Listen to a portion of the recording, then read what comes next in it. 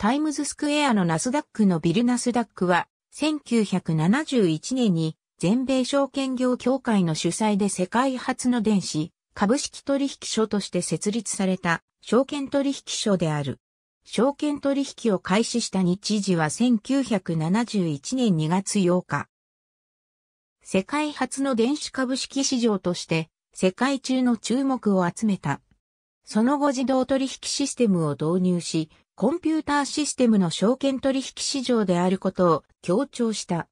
それにより多くの企業が集まり、取引高ランキングで世界第3位に入る巨大市場と化した。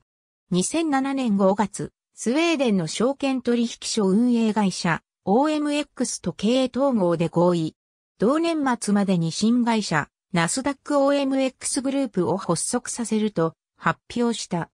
2016年、アデナ・フリードマンが次期最高経営責任者に指名。アメリカの大手証券取引所運営会社の CEO を女性が務めるのは初めて。取引時間はいずれも米東部標準時。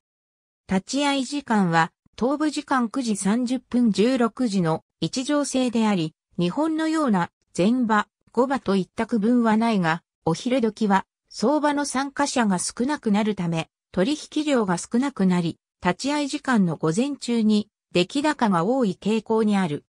日本でも2000年に大阪証券取引所と提携したナスダックジャパン市場を開設したが、24時間取引の是非やシステム上の問題なども絡み、2002年12月に提携を解消。後に日本ニューマーケットヘラクレスに改めることとなった。